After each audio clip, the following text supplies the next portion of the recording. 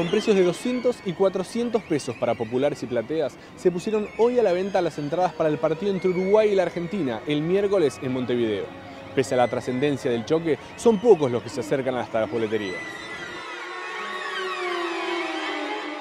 ¿Cuánto las pagaste? 200 pesos.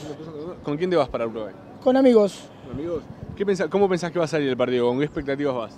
Mirá, con el PTV con las mejores. Espero que por lo menos empatemos y estamos clasificados. Poca gente hay acá, ¿no?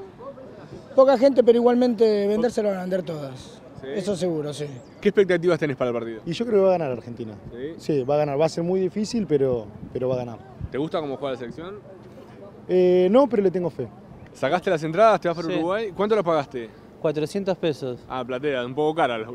Carísima. Igual las de Rosario eran más caras porque eran todo reventa. Hicieron un negociado y encima hay gente que, que pagó la entrada buena y se quedó afuera.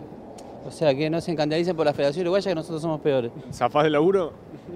Zafo de laburo, sí. Sí, sí. ¿Qué excusa inventás? ¿O sos, o sos jefe? No, soy medio jefe.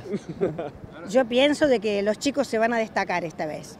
¿Qué le falta a la selección para, para terminar de gustar? Un poco de unión entre ellos, me da la impresión a mí. Tiene que haber un poquito más de Fuerza, entendimiento. Como decía, el que gritaba el hincha de acá. Entendimiento, porque no hay que olvidar de que hay muchos chicos nuevos, ¿no es cierto? Entonces no, no, no coordinan un poco con los grandes, con los viejos, como ¿Quiénes- quien dice. ¿Quiénes tienen que jugar arriba? Como formó el otro día, está bien. Sí. Cambie y después que te pare. ¿Qué cantidad de gente vino desde las 10? Y se vendieron aproximadamente 400 populares y 50 plateas. Poca la concurrencia, ¿no? Vemos poca gente. Bueno, no es barato y aparte de temprano, feriado, seguramente que a la tarde se van a arrimar un poco más de gente, suponemos.